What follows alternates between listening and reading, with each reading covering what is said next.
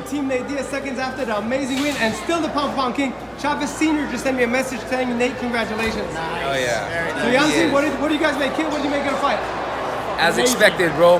Came here to go to war. The real main event.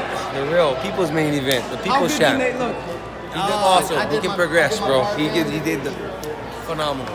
On to the next. How good did Nate Diaz look Oh today? man. He's a, Dominated he's a, one he, three. he is the he is the undisputed uh, champion of the streets. He's the people's champion, obviously. You heard that crowd. The you, kid. Look, only everybody's here. Nobody's watching the main the event. most interesting fight now in MMA period is Nate Diaz, Jorge Masvidal. Break it down. He said he's Easily. a gangster, but he's not West Coast gangster. Easily. Why? He did everything that he was supposed to do, just like he was supposed to. Flawless. They don't move their Flawless. head, the big guys. Yeah, They're I, getting hit a lot. am not, not a fan. Not a fan of heavyweight fight sports. What did you think of the fight? We got the win, man. We got the win. No, he didn't By a lot. He By a dominated. lot. He He almost stopped him dominated. four- Four five We times. dominated. He came close to the stop. Yes, he did. What, what did you think of the win? You already know. Who? Right now? Nate. What do you mean? Nathan already won. He dominated, almost choked him out, almost knocked him out. The knee to the face.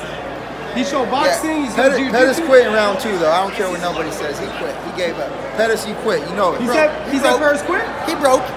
He broke for sure. And then when he waited, when he crouched down afterwards, He broke. was He broke. He broke right after that. After that. That check.